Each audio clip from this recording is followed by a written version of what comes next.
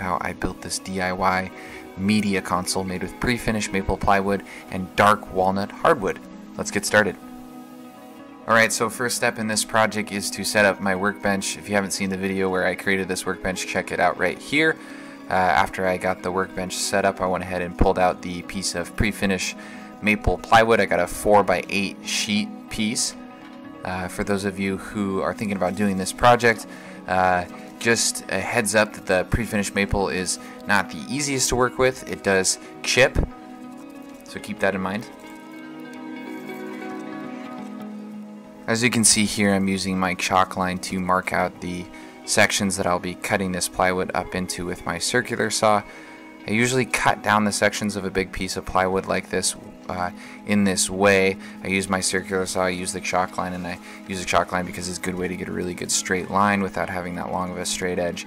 Uh, and then I take those pieces and I actually square them up fully on my table saw. This is a good way to do it if you have a, a, a small table saw like I do.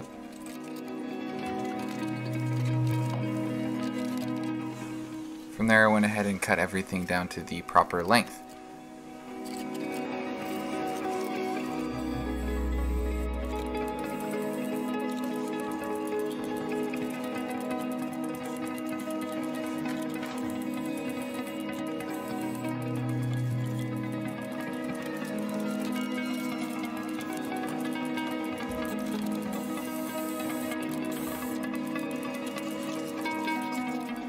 Once I had cut everything down to the proper length and width, uh, or at least the rough width, I went ahead and took out my table saw and finished everything up with the straight edge on the board. And as you can see here, I used some of this masking tape to tape off the section that I would be cutting.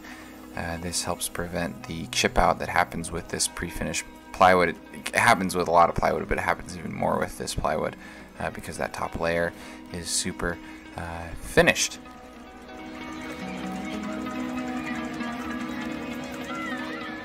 It's been super interesting working in a completely new shop and not having the workbenches that I had in my shop back in Montana. Uh, and I've had to figure out different ways to use this table saw, for instance, on different work surfaces without having a designated outfeed table. Um, but in the end, it's worked out, and um, it's all part of kind of having a portable workshop, which a lot of you understand how that feels.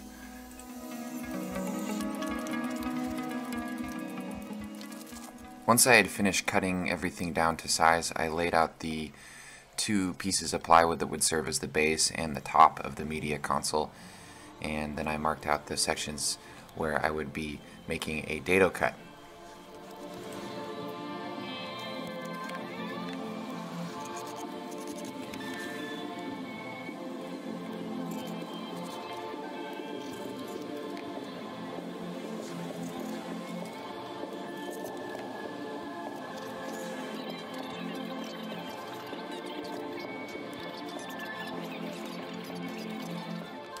There are many different ways to make dado cuts, as you probably all know, um, but today I'll be using my router to make these dado cuts, and I'll uh, be using a piece of plywood as a fence, uh, kind of measure everything out, and then I use the, the plywood clamp down to the workpiece um, to cut out the dado.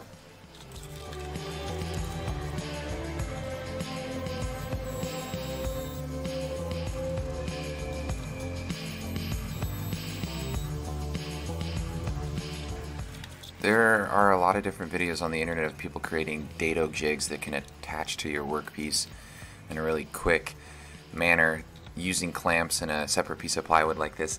It takes a little bit of time and you, you have to double check everything uh, or else you might end up with a dado cut that isn't very straight. Um, so I might eventually make one of these uh, like a video. But in the meantime, this works.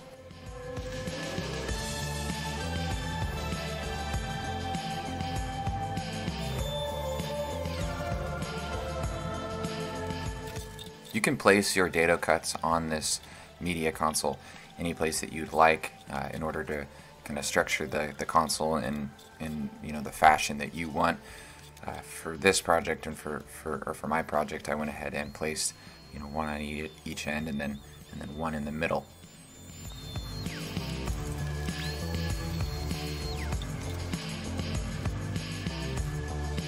After finishing all the dado cuts, I went ahead and dry fitted the entire media console before I moved on to doing the glue up.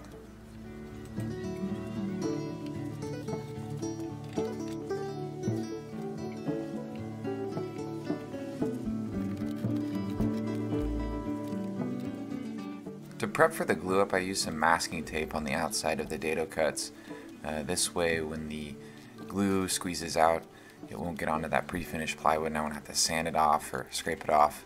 Um, in the end, there was still some squeeze off, uh, but this helped prevent some of it.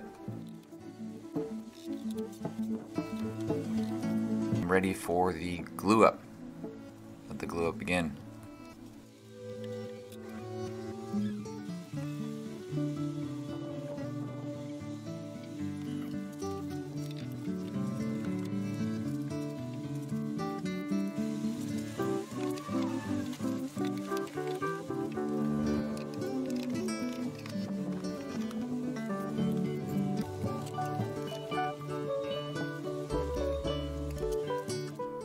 You don't have bar clamps or clamps that are big enough to clamp up a piece like this, you can use pilot holes and screws uh, and or nails with a nail gun to put everything together um, to give the glue long enough uh, to dry.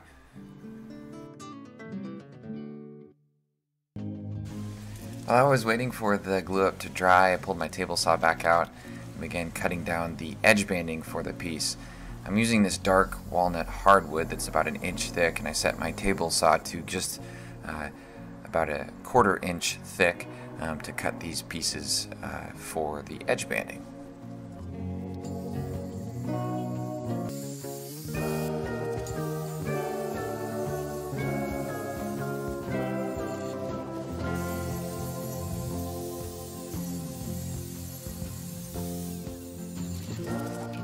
After that I took another piece of dark walnut hardwood over to my miter saw and I began to cut down the legs.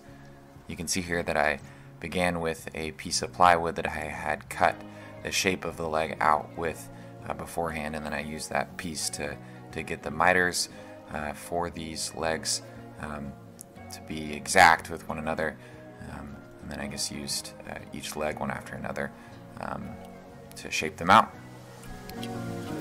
I went back over to the clamped up media console and began to take all of the clamps off. From there I went ahead and started to take off all of the masking tape and the excess glue. Uh, I had to use a chisel and a razor blade to scrape off some of the glue on some of the uh, sections where there was squeeze out. After that I used some wood putty to patch some of the sections where the dado cuts were not completely perfect. I used some, I used some wood putty that uh, matches to the color of the wood after you just use a little oil. I am a big fan of using microfiber towels in the shop. They have a slight abrasive side to them, which is great for picking up dust and, and uh, cleaning up workpieces. I then took the pieces of edge banding that I cut down on the table saw earlier in the video and I cut them to 45 degree angles for these corners to attach to the uh, top and bottom of the media console. Then applied a small bead of glue across the first piece of edge banding and used some masking tape to attach the piece uh, to the media console and then I did that to the other side and then I use my clamps to tighten everything together.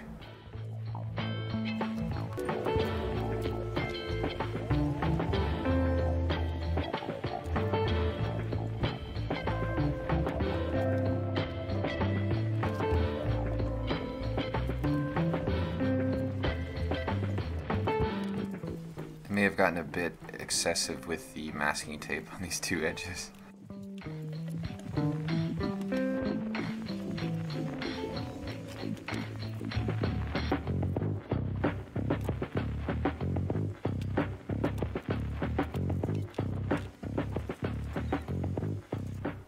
Once everything had dried, I went ahead and took off all the clamps and the tape, and then I pulled out my chisels and used them to, uh, or one of them to clean up the excess glue that had squeezed out onto the workpiece.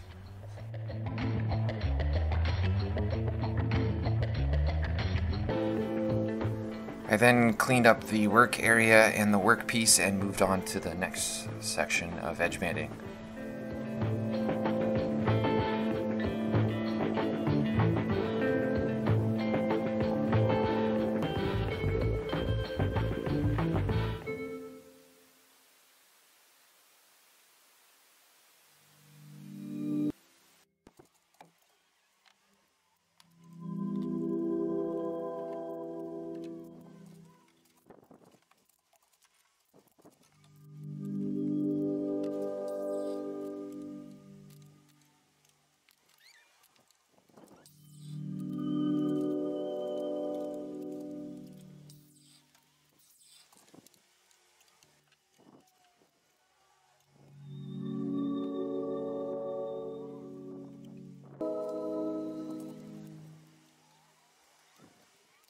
I then took out my palm router and used a quarter round bit to round over the edges of the legs.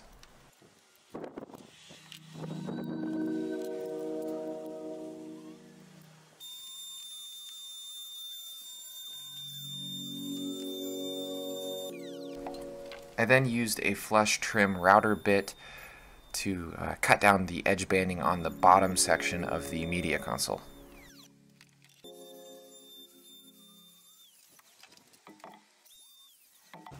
Following, I use my Kreg pocket hole jig to drill pocket holes in the legs.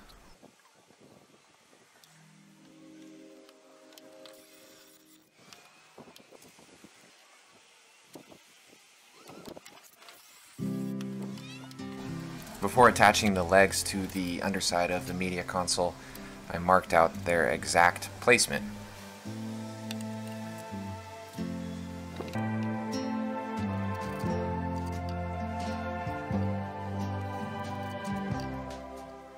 Once the legs were attached, I took off the clamps and the tape from the previous edge banding glue up, flipped the piece over, uh, did some cleanup with a chisel and a knife of some of the glue squeeze out, and then I attached the last bit of edge banding. Like before, I used some putty to patch up some of the uh, imperfections in the edge banding. Once the last section of edge banding had dried, I took off the clamps and then I pulled out my sander to sand the edge banding.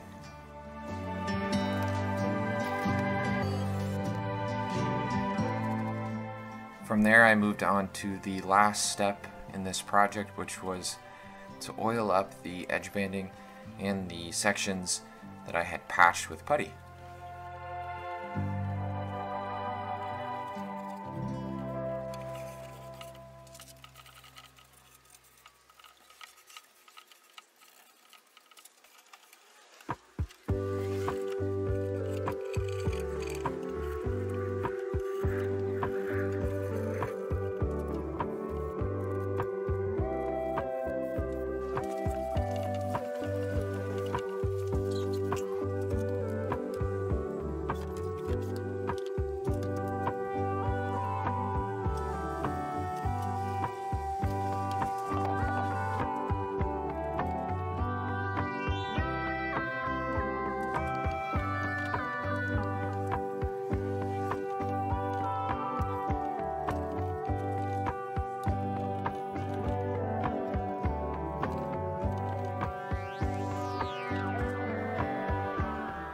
Really stoked about how this project turned out. The dark walnut and the maple really contrasting woods and, and I think it looks nice. Subscribe to my channel, I'd greatly appreciate appreciate it. Uh, that is the best way to support me. Um,